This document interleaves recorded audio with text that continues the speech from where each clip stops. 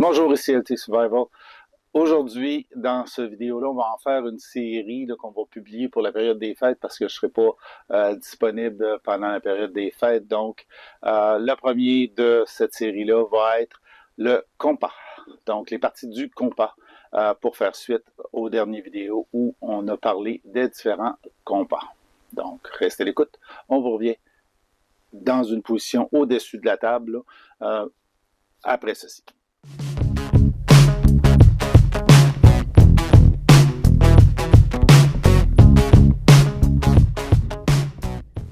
Je mentionnais, il y a beaucoup de parties à la boussole. Donc ici, on a une boussole euh, petite, la, boussole traditionnelle. Il y a les mêmes parties dans tout. On a la rose des vents alentour avec euh, ici des unités graduées en degrés. Euh, l'aiguille magnétique qui est ici, celle-ci est barrée par cette petite, petite petit bouton-là, ce qui permet de, quand l'aiguille ne pas se briser pendant qu'elle est dans notre poche, avec un couvert, celle-ci, c'est le compas de mon grand-père qui, euh, que j'ai utilisé.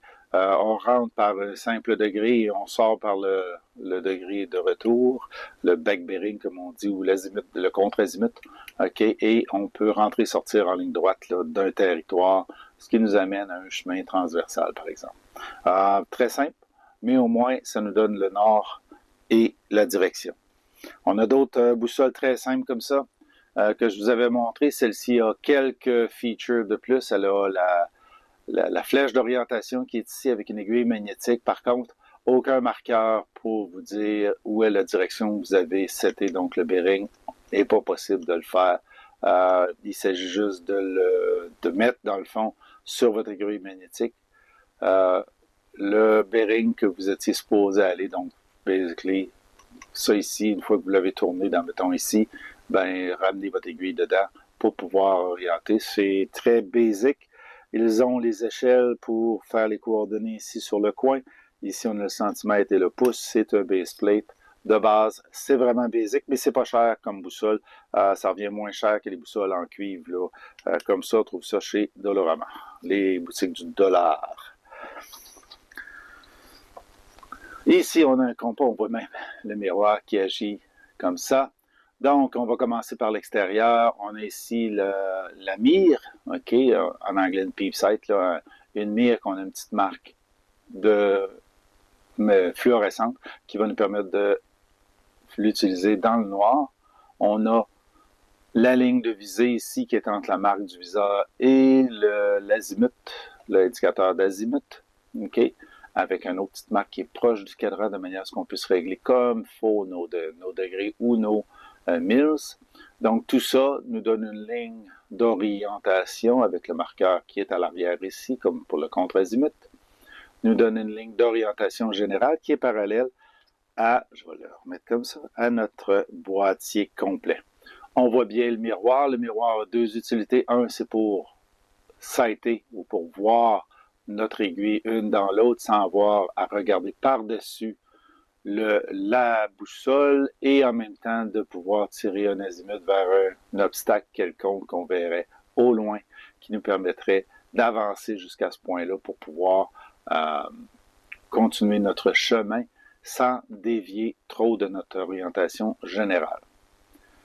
Sur le cadran, on voit les cardinaux et les lignes d'intercardinaux. Celle-là n'en a pas plus puisqu'elle a l'échelle ici en Mills. Je vais faire un close-up dessus. Je vais finir le, plateau. On a le plateau ici. Celle-ci est en Mills. Celle-ci est en degrés. Ah, et les degrés sont sur le plateau ici. Euh, celle-ci a une grosse bulle. Ici, on la voit là. Euh, ce qui rend la boussole, comme on voit, comment est-ce que mon aiguille a de la misère à passer la bulle. Ce qui rend la boussole difficile à utiliser. Elle devient trop grosse pour euh, qu'on puisse garder. Ça arrive quand nos boussoles ont trop froid. Euh, ils sont gelés, donc on, a une bulle qui se crée dans le cadran. Là, on la garde celle-ci pour euh, principalement pour faire de, de l'instruction. celle-ci, c'est une Sunto. Moi, j'ai une Silva ici Ranger. les Sunto, la vis de déclinaison est ici, les, les Silva est sur le dessus. On utilise le petit tournevis qu'on retrouve ici sur la lanière pour orienter notre déclinaison. Je vais vous montrer en plus proche qu'est-ce que l'échelle de déclinaison est. Euh, je vais zoomer. Ça va, ça va bouger la caméra. OK. Donc, comme je vous mentionnais, ici, on trouve les marqueurs d'azimut, le contre-azimut, le latch du couvert, parce que quand on ferme notre couvert ici, ça protège notre miroir et notre cadran. De cette manière-là, dans notre poche, ça ne bouge pas.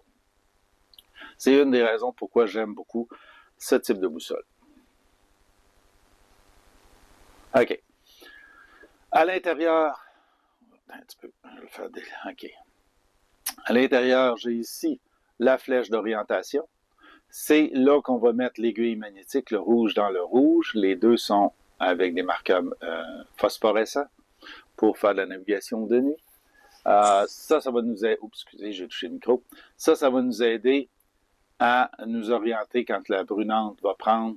Avec une lampe de poche, on peut euh, charger ces marqueurs-là, ils deviennent très brillants. Euh, à l'arrière ici du marqueur, on retrouve l'index de déclinaison magnétique. Ici, la déclinaison ouest, ici, la déclinaison est, puisqu'on la lit à l'envers, puis c'est le derrière qu'on bouge. Notre, notre index, ici, on le voit, est à l'ouest. Donc, west is the best. C'est l'orientation par laquelle on va euh, enligner notre bearing, puis qu'on va l'avoir compensé pour faire de la carte au euh, terrain. Euh, ce qui, ici au Québec, c'est à peu près 16 à 17 degrés. Donc, on met 17 en général, entre, 16 et 18. Et c'est très petit comme, comme échelle, donc il faut vraiment faire porter attention. Euh, une chose qu'il ne faut pas faire, c'est dépasser les 90 degrés de chaque côté avec l'arrière de la flèche, comme certains ont déjà fait, parce que rendu ici, la boussole est scrap. Si vous avez plus que 90 degrés d'un bord ou de l'autre, vous êtes, vous allez scraper votre mécanisme qui permettent d'ajuster la boussole. Il y a des cadets qui l'ont déjà fait. Donc, on voit que l'aiguille magnétique a deux parties. La partie rouge qui est la partie nord, la partie blanche qui est la partie sud. Il y a une utilité à avoir une aiguille double. si on pouvait la faire simplement euh, d'une demi, ça, pourrait se faire, mais euh, l'aimant ne serait pas tout à fait capable de nous donner un bon champ magnétique pour bien réagir. Mais on peut utiliser l'aiguille blanche à une autre utilité. On voit ici l'échelle de degrés, on voit le 6400 mills pour une boussole en degrés. Si je glisse ma boussole en degrés dedans, on va trouver le nord qui est ici à 0, 360 degrés. OK, on a 340, 350 et 360 qui est le 0 qui est le nord, euh, avec les mêmes features dans les différentes marques. OK? Certaines vont venir avec d'autres features comme le clinomètre. Ici, on voit la petite aiguille rouge qui est mobile si je bouge euh, ma boussole sur le côté. Je mets l'orientation nord et je pointe la hauteur de ma montagne. Je sais le pourcentage, le nombre de degrés d'inclinaison que je suis en train de monter. Monter ou descendre. Euh, c'est l'utilité du clinomètre. La majorité du monde n'en ont pas besoin, là, c'est pas une option. Si elle est dans votre boussole, c'est correct, mais sinon vous n'en avez pas vraiment besoin. Euh, à l'intérieur ici, on a les lignes parallèles ou les méridiens, ok, que l'on retrouve sur notre Je vais vous montrer une carte, mon petit papier blanc. Oh, il va falloir que je zoome out. J'ai-tu fait toutes les features? Oui. Donc, on a fait toutes les features. Ici, c'est le marqueur. La pointe de la flèche, là, c'est là qu'on doit orienter notre flèche sur la pointe. Et puis, euh, le plus précis on est, le plus, le plus précis on peut marcher vers la direction de notre euh, orientation. C'est ça qu'on voit dans le miroir. Je vais reculer la caméra. On va revenir sur un plan général. Ah. Donc, sur la plate, j'ai euh, les échelles 1 50 000, 1 25 000 et 1 50 000. L'échelle du Québec à 1 20 000 n'existe pas sur les boussoles. C'est pas assez commun étant donné que le militaire utilise ces deux échelles-là en général. Euh, le gouvernement du Québec ayant choisi une échelle totalement différente de ceux-là, juste pour faire différent. Donc, euh, il y a des outils qui ont qu'on peut reproduire ou qui on peut se la fabriquer nous-mêmes avec l'échelle graphique qu'on a ici, ok, sur une carte, pour pouvoir reproduire cet équerre-là, pour pouvoir mesurer des coordonnées. Le, problème, c'est que les maps du Québec sont pas faites sur le même sens que les maps du gouvernement fédéral. Donc, le gouvernement fédéral, c'est UTM, avec le système MGRS dedans, qu'on va retrouver dans l'information qui est en marge de la carte. On va voir ça aussi. Mais le gouvernement du Québec a choisi un UTM modifié, donc qui commence pas dans le même bord avec la même référence que le reste de la planète. So, euh, vous êtes aussi bien d'être en latitude, longitude à ce moment-là parce que vous ne parlerez pas le même langage que vos sauveteurs.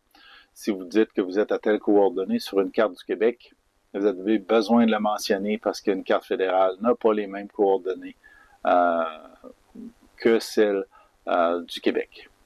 Donc, Ici, on voit que notre boîtier nous sert à pouvoir aller de ce point-là à ce point-là. On peut tracer une ligne droite, c'est une belle règle. OK?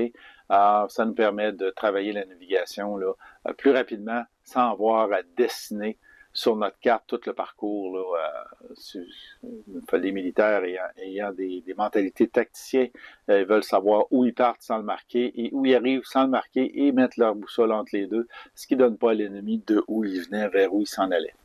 OK? Euh, parce que toutes les orientations restent parallèles. Vous pouvez faire n'importe quelle direction sur une carte, OK? Et c'est parallèle euh, ici, on a les méridiens dans le fond de notre boussole qu'on ajuste avec les méridiens euh, sur la carte en les mettant parallèles. C'est pour ça qu'on les appelle parallèles. Ils sont parallèles l'un à l'autre. Et puis, ça nous permet d'avoir le bearing que nous voulons marcher. On va voir plus en détail la façon de prendre des azimuts sur la carte. Euh, et puis, on va pouvoir voir ça. Comme je vous dis, je vais mettre des images euh, de, des parties de la boussole pour vous euh, sur le vidéo afin que vous ayez une idée euh, de, la boussole. Les, il est toujours important de connaître les parties parce que ça va nous permettre de parler le même langage. Je vous reviens après ceci.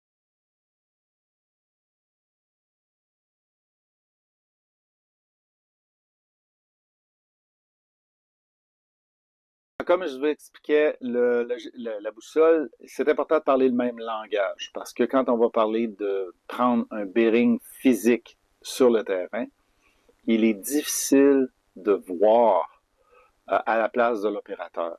Donc, un des trucs qu'on utilise, c'est qu'on dit l'aiguille rouge dans la flèche rouge, la flèche d'orientation.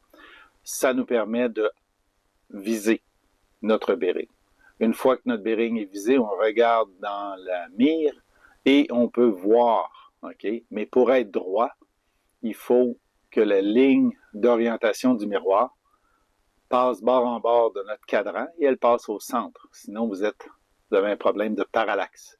Donc, tout ça combiné en même temps, le langage devient essentiel pour être compris par l'utilisateur qui va éventuellement prendre de bons bearings. Plus vous êtes habitué avec euh, ce processus-là, plus précis votre navigation va être. Et l'avantage de la boussole, c'est qu'elle n'a pas besoin d'une vitesse minimum pour compenser, euh, pour montrer votre déplacement. Euh, un des problèmes qu'on avait avec les GPS dans le temps, c'est qu'ils demandaient 3 km h de vitesse et une certaine distance. Ben, 3 km h c'est que ça créait une certaine distance pour que le GPS puisse compter la direction dans laquelle vous alliez.